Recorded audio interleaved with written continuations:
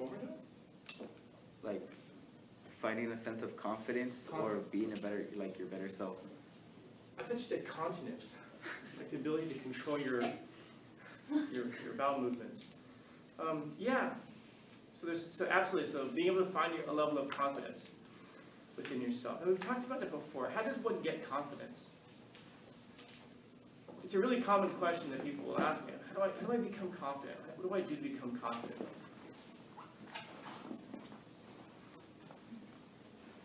So we practice at what you're not confident at? So practicing in what you're not confident, true.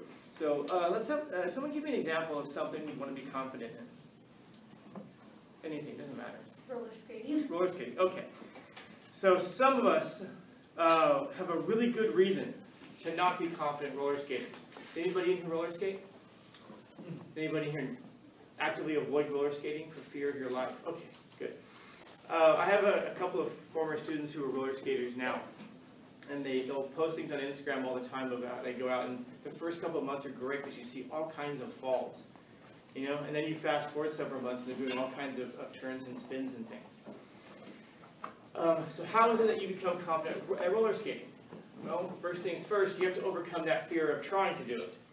Um, are you going to get hurt if you try roller skating? Yes. You have to absolutely get that in your head that you're going to get hurt doing it. You're probably going to get hurt doing a lot of things that you just start doing. Even if you decide that you're going to start uh, start dieting, even there's going to be some pain involved with that because you're going to be hungry. You're going to go through you know, that, physical stuff, also the mental stuff as well. It's like, oh my God, it's the first day and I'm already hungry. Oh my God, can I, I can't even do this. Um, yeah, it's, exact, it's exactly like going roller skating for the first time. You're going to fall down, you're going to get hurt, and you're going to be asking yourself, perhaps, is this even for me, really? You know? And uh, the answer is going to be yes, if you stick with it. If you stick with it, anything is for you. It doesn't matter what, what the thing is. In the case of roller skating, you're going to have to fall down lots and lots and lots and lots and lots of times. So the first thing is going to be to accept the fact that you're going to get hurt. And not just to accept it, but also perhaps to even embrace it. Because, so for example, um, going back to the, to the dieting example, if you find yourself on your first day and you're a bit hungry and it's bothering you, that's good. Because it should remind you, huh, that might mean that I've just been eating way too much in the past, and this is just a reminder of what that is. Eventually your body will adjust, and you will get used to eating better and less and, and all that, um, but it will take that time to do it. Um, as you're roller skating, if you can embrace the fact that you're going to fall, then you're going to be willing to take steps to, uh, to, to roller skate in ways that you otherwise would never have before, obviously. Um, this is also a long way of saying you have to give your, you have to accept the fact that you're going to suffer. You have to embrace it, and then, very importantly, sorry, you're going to have to get some wins under your belt.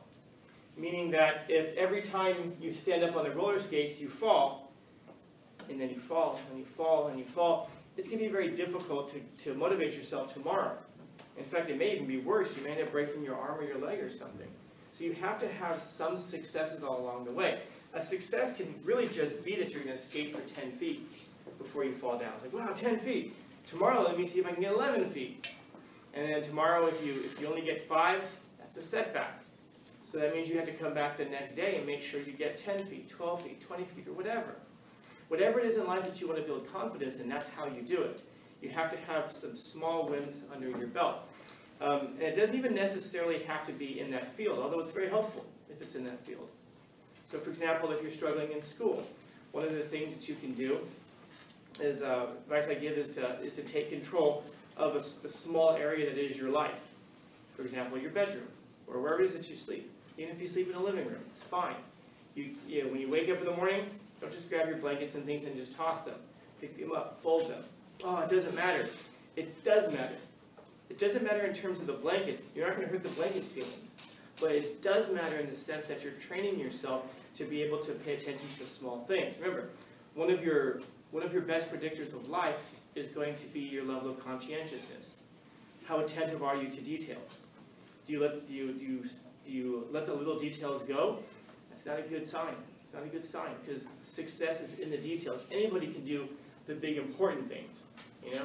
I mean, even think about like in terms of a relationship, anybody in a relationship can, can remember a birthday or an anniversary. That's a lie. What's that? That's a lie. That's a lie? That's a lie. Yeah, I to say the same thing.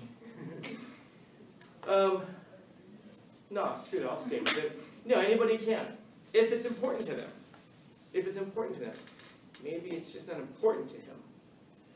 Scanlan, you're starting an argument. I'm not starting an argument, I'm just saying some stuff. Because, I mean, think about other days that people remember. Do people remember when the Super Bowl is? No. Yeah? You No. like It's not important to us, so. If it's not important to you, but if it is important to you, you know, there are people who can tell you, you know, stats for a, a, a sports player, uh, sports player, my God, that sounds terrible.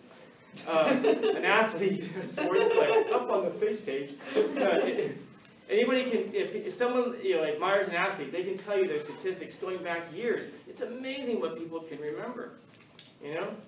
I mean, heck, some of you are fantastic at remembering what pictures your, your significant other liked on, on, on Instagram, especially if they belong to somebody else three, four years ago.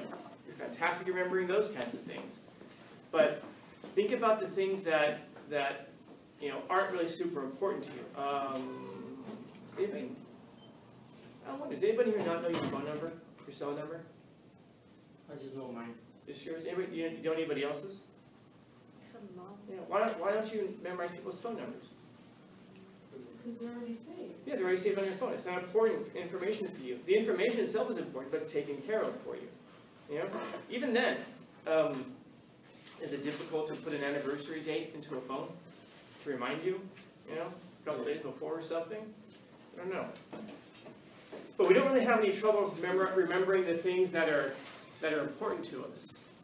Um, and that doesn't mean that we don't make mistakes, lots of course, but you know, consider this. Anyway, um, anybody could remember anniversaries and birthdays. Maybe I'll, I'll take that part out of the video for you. Anybody can remember birthdays, anniversaries, things like that. But it's the little things on the uh, every day, the little day, the little things of appreciation. You know, those are the hard things to remember to do, and yet those are the things that will form the foundation of a strong relationship. Um, getting a birthday card, easy. Getting a just or, or making a just because card, that's difficult. You know, saying thank you um, opening doors for people, walking, you know, um, whatever it is that, that, that the other person appreciates, when you show them those little tiny things, man, those make all the difference in the world. And it's some of, the, some of those things that we all intuitively know. Um, if your significant other does little nice things for you, we all kind of recognize those things and appreciate them. It's difficult to reciprocate though. It's easy to receive those things. It's difficult to reciprocate. But that's where the strength of the relationship comes. It comes in the little, those little you know, acts of appreciation throughout, show that you appreciate the whole. You know, confidence in, a, in an area comes from having small victories in that. Anybody can get out there and do the big things, but if you do the little things right, big good things happen. If you do the little things wrong, big terrible things happen, regardless of the field. So this is how it is that you gain confidence. If you if you haven't had little victories, um, it, it shouldn't be a surprise that you lack confidence. That makes sense. If you've never done anything in, in, uh, in school, for example, except for fail, well then, yeah, I mean, it wouldn't, it wouldn't make any sense to suddenly be confident. Now, having said that, some people are still magnificently um, uh, comfortable, I'm sorry, confident, despite the fact that they haven't had successes. But we all recognize who some of those people are, and we roll our eyes at them. We know they, who they are, and we know how they are, sorry. Um, but if you're going to have some kind of a, of a turnaround in your life, you've got to give yourself some reasons to believe in yourself. That doesn't mean like, okay, so I'm gonna get a, an A on my chemistry test tomorrow. No, it, that's a big thing, man. How about starting out small? Read half of a chapter from your chemistry book. That's really hard. Okay, read a quarter of a page, uh, quarter of a chapter. You're still gonna fail tomorrow. But now you've proven to yourself that you can read a quarter of a page, I'm sorry, quarter of a chapter. And if you've proven that you can do that, perhaps you can prove to yourself that you can read a whole chapter. You know, if you're a terrible runner, don't go out there and try to run a marathon. Run a quarter mile first. Prove to yourself that you can do that. Because all a marathon is is, is 26 miles times four quarters. If you can do if you can do that quarter, then you can do the mile. And if, and at the end of doing the mile, you can sit there and go, I wonder if I could do that 26 times. That's all the marathon is. Doesn't mean it's going to be easy, but it is that simple. And that's how you build into things. And so, find small ways of giving yourself some successes. Organize your backpack. Fold up your blankets tomorrow, make your bed in the morning, clean your room. And then once you can clean your room, well, now you gotta keep it clean. Because that's proving that you can maintain that kind of behavior that leads to success. In the case here of finding the center within ourselves, well, we gotta find that strength within ourselves. We have to give ourselves that level of confidence. We have to find a way to do that. Because in the long run, he said, that's the best contribution that we can make to humanity. So now it begs this question, why would we want to, to do that? Why would we want to make a big contribution to humanity? Well, because if you're sensible, that's probably the only thing that you really want to do. Because as I've said before, you have the option every day when you wake up, you can, you can make the world a, a worse place. You know, that's easy for us to do. You can at least leave the world neutrally. Don't do better or worse. Just, you know, exist. But don't do good or evil. And you can also choose to make the world a better place. That's hard to do, especially on a, daily basis, because it takes a, a fidelity to, to positive characteristics. But there's also nothing that's going to be more rewarding than leaving a positive, leaving a positive touch on, on the world. Know? So, first things first. Now, what if you can't, what, what if it isn't your, your interest to, to make a positive contribution to humanity? Fine. Narrow it down. Don't think so big as humanity. How about a positive contribution to your family? How about a co- positive contribution to your friend groups? Or how about a positive contribution to yourself that's going to, that's going to give, that's going to put your future family in a better place, as I said. Um, I've asked before how many of us in this room want to have families someday, and it seems like overwhelmingly you guys want to have families. You guys want to have children and spouses and all those things someday. And if that's true, we understand that the decisions that you make today are going to propel you forward to a position that you're going to be in in five years, ten years, whatever. And the situation that you are in at that time is a situation into which you're going to be bringing your family. So if you put yourself, if you if you do well, if you develop these positive traits, and you find yourself in a really good position in ten years, then that's the situation into which your family is going to be born. And I wonder how many of us, if we really thought of it that way, would understand that maybe it would be a good thing. Maybe it would be a good thing to have our children born into the best possible situation. Do you want your children playing life on hard mode? You know, you might not want to be too easy, course, because if you make it too easy, they don't, people don't develop. But do you want it to be so damn hard? Think about your own life. I mean, I know, I know it's, it's fashionable to say, I wouldn't want to change anything all about my life because it's made me the person who I am today. And we all nod and we appreciate your, your level of self-love. But I wonder if anybody really believes that. Or hmm. would you like to actually have had some more advantages and opportunities? Because if you are that person who says, ah, I love who I am, then I hope you're also not one of those people who complains about the opportunities that other people have that you don't. Because understand that the differences between the opportunities that you have and that somebody else has is exactly what we just praised. I wouldn't change anything else to make me who I am today. Sounds like you would change some things so that you could have more opportunities. And we intuitively know that, that that would be a good thing, and we'd probably like for our kids to have more opportunities as well. But understand that the job of, that the proper job of providing for a family, taking care of a family, of raising children, it doesn't start when, when the test comes back positive. At that point, for a lot of folks, it's, it's, it's late in the game.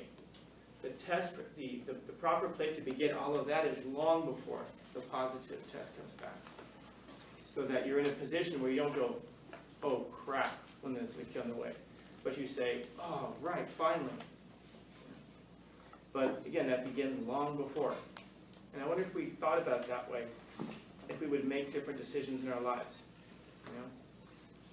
Perhaps. Questions, comments, concerns, complaints, criticisms?